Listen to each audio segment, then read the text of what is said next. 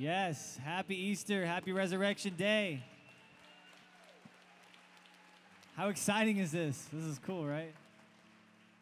Really quickly, um, we're going to play our first song, but we, we do want to encourage you guys to make sure you squeeze in because people are going to keep on coming in. And make sure you have your cell phone silent. Uh, we're going to have a, a great time.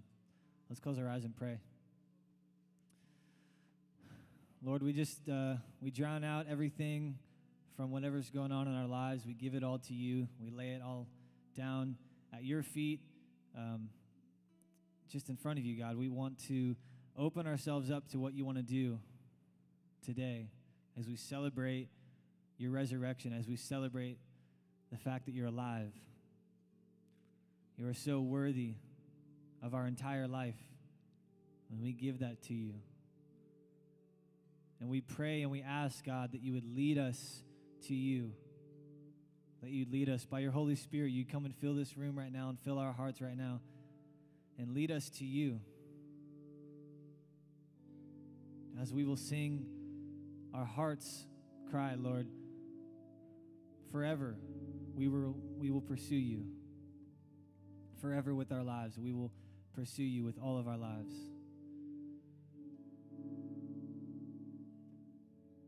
Be here powerfully by your Holy Spirit. We know that you're real. We know that you're alive. That's the reason we're here. That's the reason we celebrate today, is because you're alive. We love you so much, God. Come be with us as we worship you. In your name.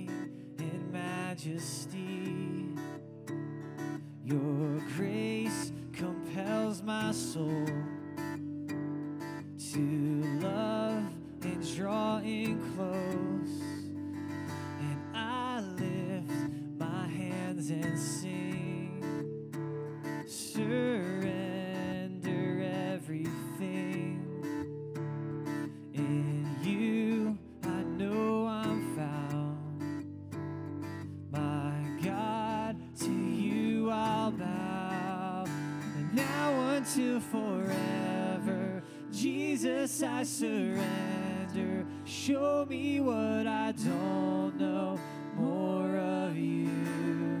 I'm desperate for your presence, longing to be with you.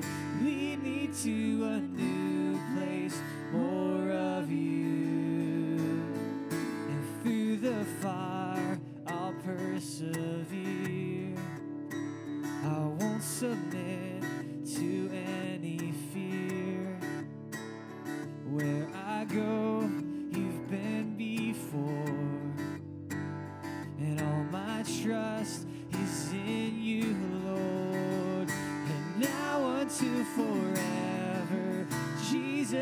surrender. Show me what I don't know, more of you. I'm desperate for your presence, longing to be with you. Lead me to a new place, more of you. Oh, and now until forever, Jesus, I surrender.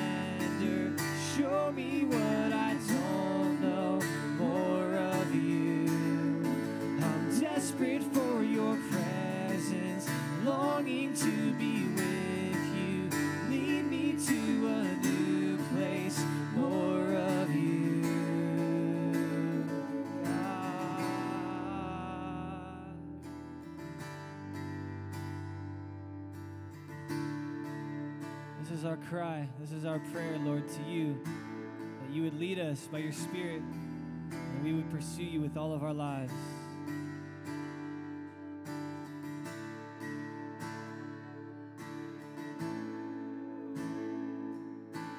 Lead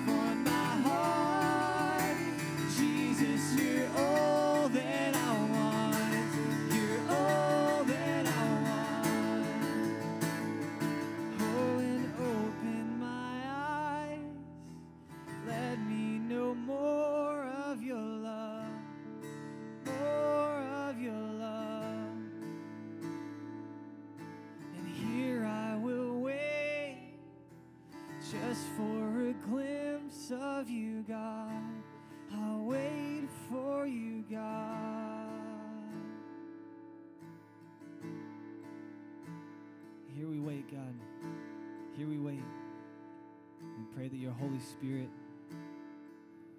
would do what you always do, would be faithful. Come and be with us powerfully. We want to lift your name high, higher than any other name, the name of Jesus. That's what we do this morning, God.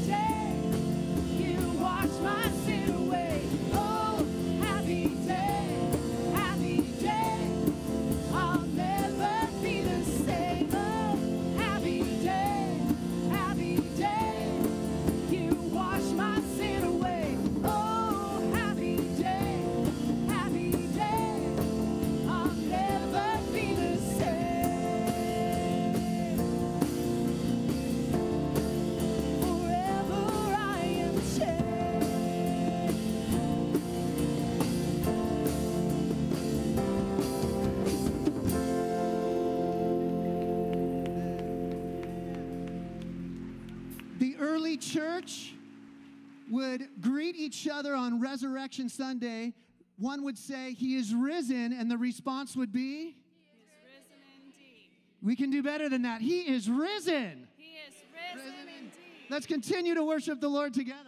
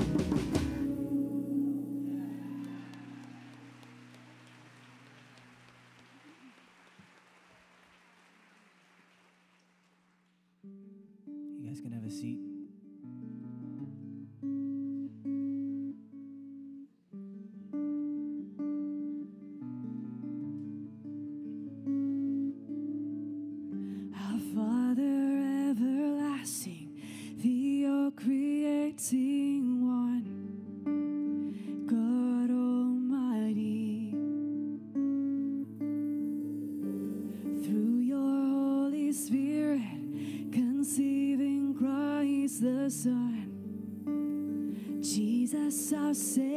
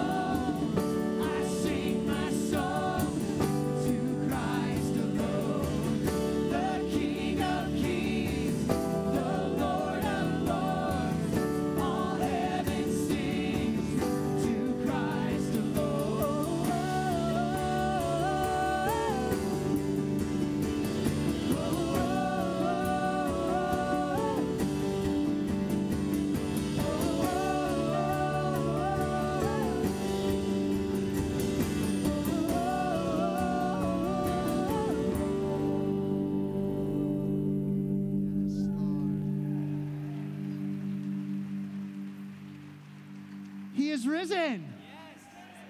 He is risen. Okay, now, but before you sit down, I have to do it. It's a narrow one, but we got to do it. You got to do the Easter Sunday, Resurrection Sunday wave. We got to get it right now. You ready over here? Here you go. Ready? Go. And then back. Start here. Start here. And go back. The ones that did not participate last time, here you go. One more time. Ready? Go. And back. And on the count of three, hallelujah. One, two, three, hallelujah. Yeah. Say hello to someone and find your seat again.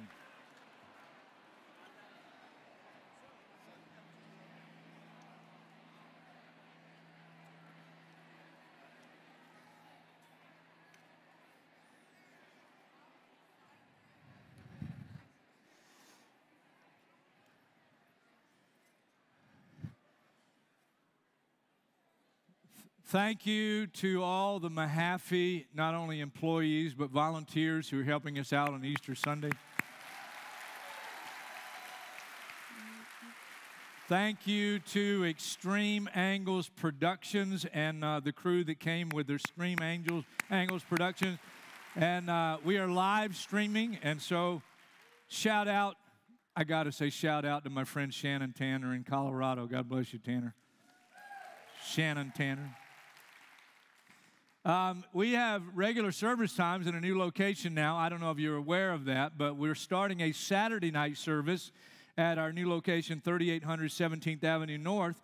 And even with the Saturday night uh, service, and there is no child care for that particular service right now. So we're especially looking for those of you whose children are extremely behaved uh, or, or are older, all right? Uh, we will, I'm sure, have child care eventually, but the challenge is with all the people here, with the place we're at, even with the Saturday night service, um, we're going to be really full. Uh, so, so, no, look. I don't know why Jesus did it, but sometimes he would do something incredible and he would say, Now don't tell anybody. So we got to see how full we're going to be. So until we know how full we're going to be, don't tell anybody else. All right? yeah, crazy, huh?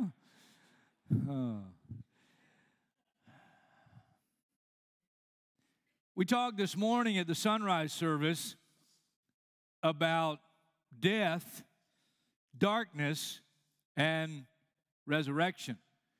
And the key text was from Mark's Gospel, chapter 5, where a woman who had had an issue of blood for 12 years and had become in the Old Testament economy under the law unclean. Uh, if she had been married, she probably was divorced. If she had children uh, in that culture because of her uncleanness, they probably had no contact with her. Uh, it said she had spent all she had on doctors, and yet the doctors couldn't help her.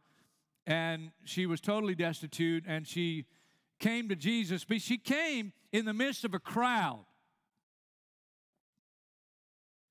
And her coming was also tied in with a synagogue ruler named Jairus, whose daughter, who happened to be 12 years old, interesting common denominator in the story, the woman, 12 issues of uh, uncleanness. Jairus' daughter, 12 years old, she's dying. Jairus comes to Jesus um, he obviously had gone to doctors and they had finally said, There's nothing more we can do to your daughter. He had heard about Jesus. Usually, synagogue rulers would not have been um, partial to Jesus, but when your daughter is dying, you change. You've heard that Jesus heals. And so you come, and he comes and he, he begs Jesus, Come, my daughter is dying. Jesus goes with him. But there's a crowd and it's slow going. It's like going uh, in ambulance, going, you know, in traffic, trying to get to the person that has the need, and it's Jairus' daughter. And in the midst of this, this woman manages to get through the crowd. She knows if she's made public, people will push her away or at least tell her to get away. They don't want to touch her because she's unclean. But she has this faith that if she just touches the hem of Jesus' garment, she'll be cleansed. She does, she is. Jesus, knowing that power has gone out from him, uh, pauses in the midst of this crushing crowd around him. And he won't give up until this woman comes through the crowd and confesses that she's the one because he has healed her in response to her faith. Jairus, this father, no doubt is distraught as Jesus looks down and says to the woman, Daughter, your faith has healed you. Go and be freed from your life of suffering. Jairus, while I'm sure he's happy for the woman, his daughter's dying. And in the midst of Jesus saying those words, Daughter, your faith has healed you. Messengers come from the synagogue ruler's house, and they have some really bad news for Jairus, his father. Your daughter's dead.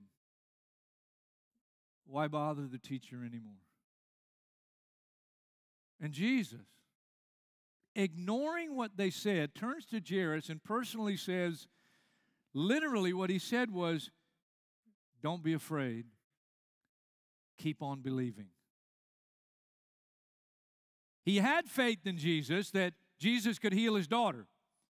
But now he needed to have faith because his daughter is dead. Now he needed to have faith beyond the grave. Faith not in the healing power of Jesus, faith in the resurrecting power of Jesus. I read this morning, and, and you're hearing a bit of the message, so you ought to be happy if you didn't make it to the sunrise service. You didn't have to get up early and come. You're hearing some of it right now. I read this great statement in a book that a fellow gave me a few weeks ago, a friend of mine called The Divine Visitor about Jesus coming to earth. And it says this Death is a process of disruptive intrusion into God's original order, set in motion the moment we take our first breath. By reason of man's fall, his sin, life has become a relentless process of decay. A fundamental hopelessness resides within most of mankind because of this penalty of man's sin. Death comes in everyday circumstances and events of our living. Visions die, health decays, hopes and dreams fade, relationships wither and often die. A lifetime of dying confronts every person. And we learned this morning at the sunrise service that death, death is more than physical. We also learned that death's cousin, darkness, is more than physical darkness and death and darkness are tied together. And we live in a world filled with darkness and filled with death. But Jesus came that we might have hope in a dark world. Isaiah prophesies there'll be no more gloom for those living in distress. In the future, he'll honor Galilee of the Gentiles. The people walking in darkness have seen a great light. John's Gospel, chapter 1, tells us that he is the light, he's the life, he's the light.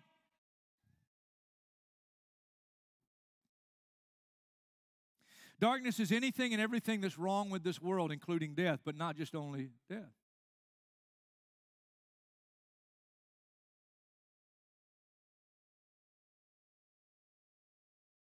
point to ponder for you, Bible students. In Genesis chapter 1, when God records his creation of the world and the universe and all the galaxies, it's interesting that he created light before he created the sun, moon, and the stars.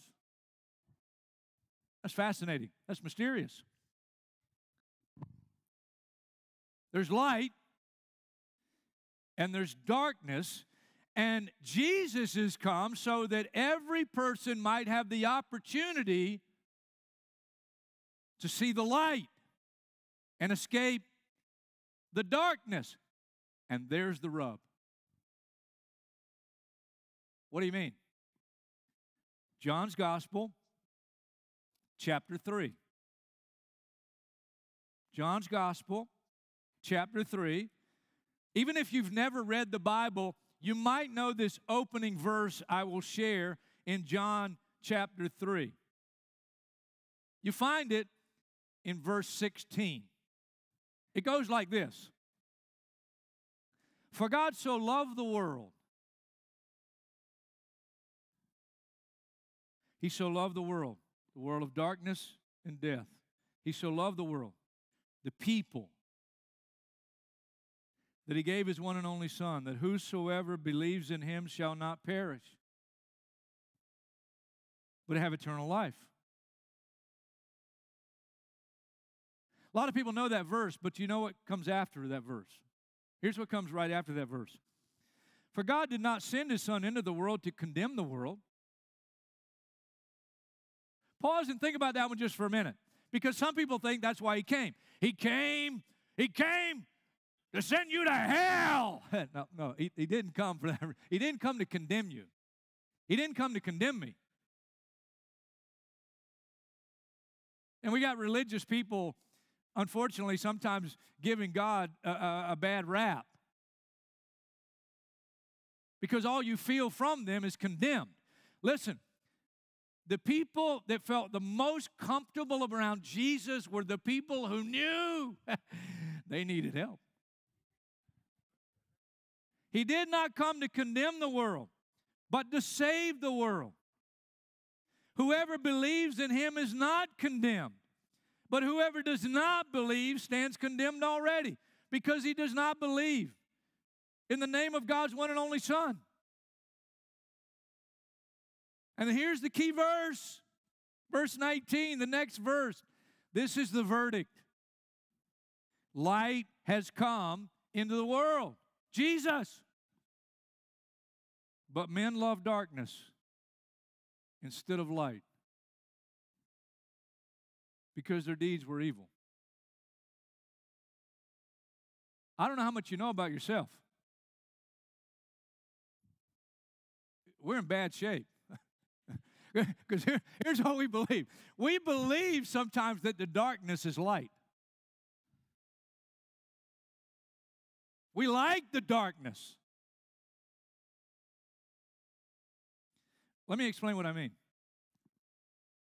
There's a story in Luke's gospel that illustrates this very point, I think, perfectly. You find it in Luke's gospel, chapter 15, and it goes like this. I'm just going to read the story for you. Verse 11 Jesus speaking, there was a man who had two sons. The younger one said to his father, Father, give me my share of the estate. So he divided his property between them. Not long after that, the younger son got together all he had, set off for a distant country, and there he squandered his wealth in wild living. And he becomes known in Christian circles, in church circles now, in this story as the prodigal son, the wandering, wayward son. After he had spent everything, there was a severe famine in that whole country, and he began to be in need. So he went and he hired himself out to a citizen of that country who sent him to his fields to feed pigs. He longed to fill his stomach with the pods that the pigs were eating, but no one gave him anything. When he came to his senses, and that's where you need to come. Come to your senses. He said, How many of my father's hired men have food to spare? And here I am starving to death. I'll set out and I'll go back to my father and say to him, Father, I've sinned against heaven and against you. I'm no longer worthy to be called your son. Make me like one of your hired men. So he got up and he went to his father. But while he was still a long way off, his father saw him and was filled with compassion for him. He ran to his son, threw his arms around him, and kissed him. The literal is he smothered him with kisses. The son said to him, Father, I've sinned against heaven and against you. I'm no longer worthy to be called your son. And before he can say, Dad, just make me one of your slaves. The father said to the servant, Hey, quick, hey, kill the fattened calf. Get the band. We're having a party. Bring the best robe, put it on him, put a ring on his finger, sand on his on his feet. Bring the fattened calf. Let's have a feast and celebrate. For this son of mine was dead. He was dead. He's alive again. He was lost. And he's found. They began to celebrate. I mean, they threw a party. Man. Man, does that story get straight God's heart and why Jesus came. For God so loved the world that he gave his one and only Son, Jesus. Whosoever would believe in him should not perish in the darkness by death.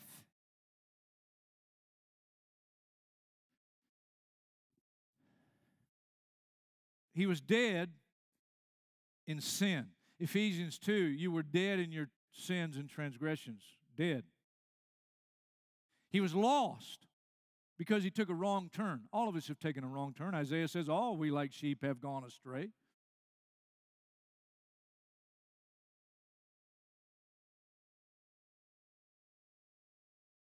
Came to his senses in the pig pen. But, but wait a minute, let's back up. Let me back up just for a minute. Let's get an image of this, this, this prodigal son when he first leaves home. Now, the story doesn't tell us how long before he ended up in the pig pen. But I think it was a while. Because I think his father, uh, being a wealthy guy, I think he left, he, he left with a bankroll. And this dude, man, when he finally gets away from home, here's what I thought about. I can't help it. I couldn't help but think about it. I thought about when I was 15 years old, and in those days in South Carolina, you could get your license at 15, your driver's license.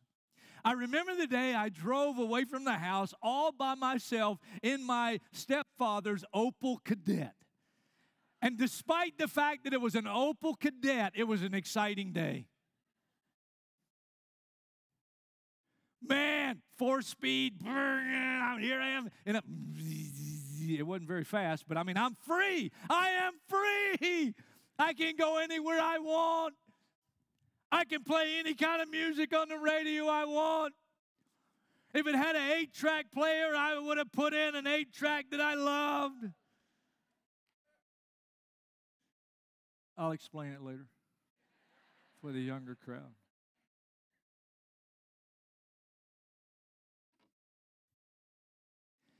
I don't know if you've discovered, but the freedom that we think is freedom is not really freedom. Oh, you enjoy it for a period of time. And, and I just went from one, one belief of freedom to the next until ultimately, well, before I, before I tell you that, look, I, I like going to concerts. I love going to concerts. I love music. Uh, I'm an old rock and roll drummer, self taught, you know, and uh, I, I like going to concerts, and most of the concerts I go to are from my generation. Now, there's a real challenge with that uh, when you get to be 61. Uh, because in my generation, the guys that were playing the music are already older than me. So at 61, they're much older than me, and most of them are dead. And so the concert, uh, the concert list is, is decreasing because these guys are dying. But I went not too long ago to see um, the Guess Who at Epcot Center, right there in Orlando. And I read an article because I wanted to make sure that at least one original member is with them because if it's not at least one original member, it's just not the same. So I read that two members, two original members of the Guess Who were, were still traveling, and one of them for sure would be with them. And so I thought, this is great. I got my wife, talked her into it, and she said, We're going to see who? I said, The Guess Who. She said, Who? I said, The Guess Who. And we go, and I get a good seat there at Epcot Center, and I'm waiting, and I'm so excited to see the Guess Who. And I mean, they bounced out on the stage, and I was immediately disappointed because these guys got to be in their 20s. I'm looking for the old guy, the old original guy, and he just doesn't there. He never shows up. But I stayed. I stayed and we got they got to the end of that final song and usually the final song was their biggest hit. And, I, and then for the old geezers here what was the biggest hit of the guess who? American woman. And they started playing american woman and here's what happened here's what happened. You saw these people get up some and jump in their wheelchairs. And they're, they're, they're, they're american woman stay away from me American woman. And I mean, they're just getting into it. You got to understand, I'm not one of those old people, but I, you know, I go to these concerts and these people are there. And if you want to go to one with really old people, go see Peter Noone and the Herman's Hermits. I watch these people, I and and and they they start to act like they're in high school again. And what happens is, what happens is, especially on certain songs they play, you all of a sudden are transported back in time. And you're with that girl. Now, you can't think about her now because she's long gone. You married somebody else. Guess who's uh, at Epcot this next week? Foghat. Oh, man. I think I'm to have to go. But I, I, I don't know if are these guys still alive. But I mean, some of their songs, boy, does that take me back in time. They, back in time when I was, man, I had some, I had some great, great times. I mean, I played in a band with a guy named Frankie Tyson. Frankie Tyson was one of the best bass players at 17 years old I have ever heard. And Foghat, slow ride. I mean, it just, I mean, it, you just transported back in time. And sometimes, if you're not careful, if you're not careful, you'll go, man, those were the good old days. What? wait, wait. So, when that happens, at least for me, I go, hey, hey, hey, wake up, will you? Wake up. I went to some great parties. I went to some great concerts. Uh, you know, and if I was a few years ago going to see the Guess Who, uh, before I arrived, I would have rolled some nice uh, handmade cigarettes. And we would have partied. I became a drug addict. And at one point, at one period of my life, I thought I had everything in the world that could make me happy. And I found out it was a lie. The darkness lies. the darkness appears to be light, and you go, man, yeah, that's it right there. And that's what happened to this prodigal when he first left home. He's like, yeah, man, I can listen to whatever I want to listen to. I can go wherever I want to go. I do whatever I want to do. And you keep going that path. And hopefully, hopefully, you come to the place that you realize there is nothing in this world that will give you what you need and what you really want. Paradise, that's where God originally put man. Did you know that? This is the kind of God I serve. He, he created man and he put him in paradise.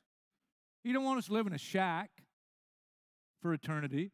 And he doesn't want us to live in darkness and gloom and, and face death. No, he has a plan. He always had a plan. His plan, for God so loved the world. A world of darkness, a world of death. But Jesus came that we might have life and hope and the story at sunrise Jairus' daughter, 12 years he was blessed. And then the tragedy of his life hit, and he ran for healing to Jesus, but his daughter died, and now he has to trust Jesus beyond this life. And the woman, 12 years of suffering, after evidently being blessed before that. We don't know her life before that, but she obviously was blessed before that. And this life, God sometimes He doesn't make it happen. He doesn't make it happen. It's a mystery. It's a mystery. But but but but He'll he'll say, okay, if that's where you if that's where you think life is, and you go, you go like the prodigal son. But hopefully, you come to the place in life you realize this is just a pig pen. And when you come to your senses, you say, What in the world am I doing? What am I doing? And you do like this prodigal, and you say, Man, I'm just going to go back my father. I'm going to confess. It's, I, I've gone my own way. I, I'm a rebel at heart, and I, I just want to come back home. Maybe you're here. This is your moment. This is going to make the difference in your life for all of eternity. And God the Father looking down, and Jesus saying, I died for you. I love you. I paid the price for your sin. I want you to be washed. I want you to be cleansed. And if you'll say yes to Jesus, here's the great news, too. Listen, it's not that you say yes to Jesus and he says, now get your hair cut and stop listening to that music and do this and no, and, and that's, the, that's the world's view of what religion is. Look, when I, when I found Jesus and, and he saved me, I didn't find religion, I found life. He didn't come to set us, he didn't come to, he didn't come to put us into bondage. He came us to release us.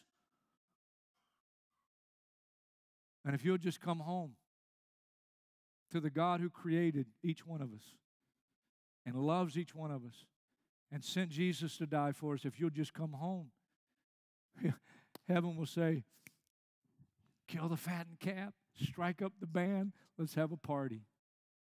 No lecture, no lecture. No, well, look, you did this and you did that and you did that. It's going to take you a while to clean you up. No, no, no, no. You don't clean yourself up. Jesus cleans you up.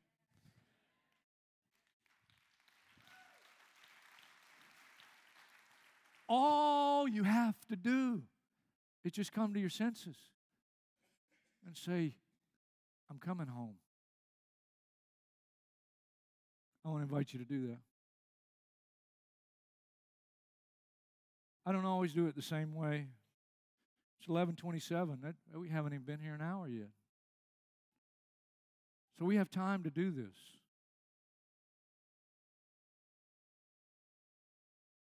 You can receive Jesus as Lord and Savior and you can be saved as the Bible calls it without doing what I'm going to ask you to do. But I think for many of us, maybe all of us that want to receive Jesus, for right now, this is what you need to do to take that first step. Band's going to come. We got two simple songs, and we're done. And then we're off. Happy Easter. Have a great Easter Sunday. Two more songs. And this first song, I want to invite you to take a public step in receiving Jesus Christ as your Lord and Savior. Jesus hung on a cross publicly, despising the shame of the cross. He was willing to go public for you. Won't you go public for him? No such thing as a Christian incognito.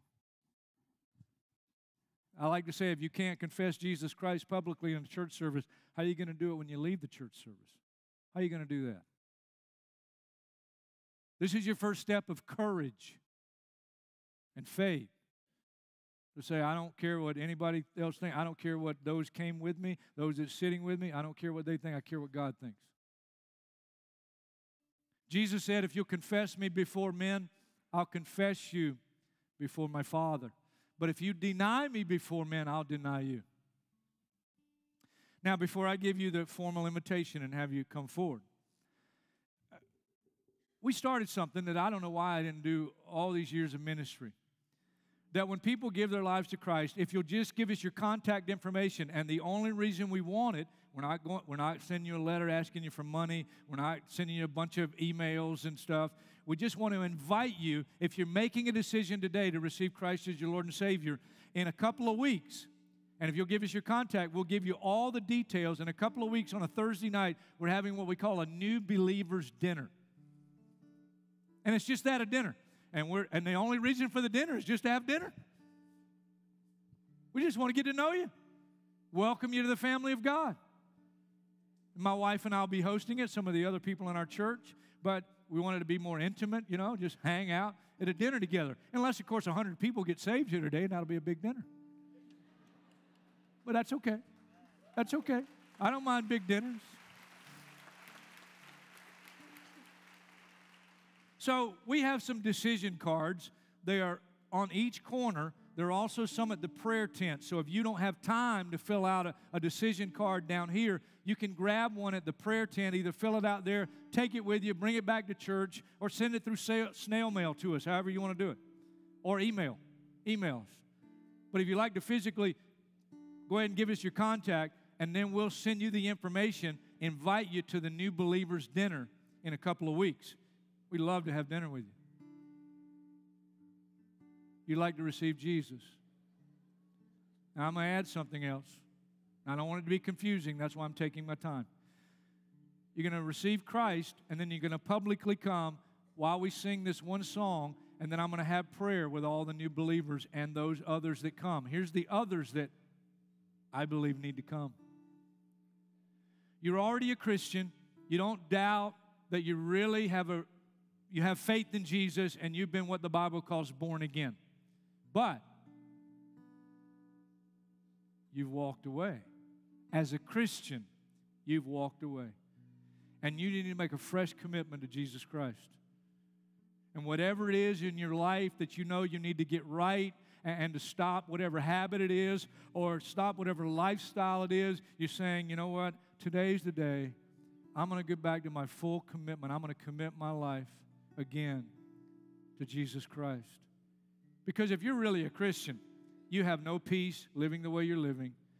You have no real joy the way, the way you're living. The only way you're going to get that peace back, the only way you're going to get that joy back, the only way you're going to get the fellowship of the Lord back is to say, I'm making a fresh commitment. I'm going to change some things in my life. I'm coming back home. So, some coming for the first time, and then some coming as Christians saying, I'm coming, and I'd like you to just pray for me as I make a fresh commitment to Jesus Christ. Bow with me. If you're receiving Christ, pray from your heart. Dear Lord Jesus, thank you for dying on the cross for my sin. Forgive me.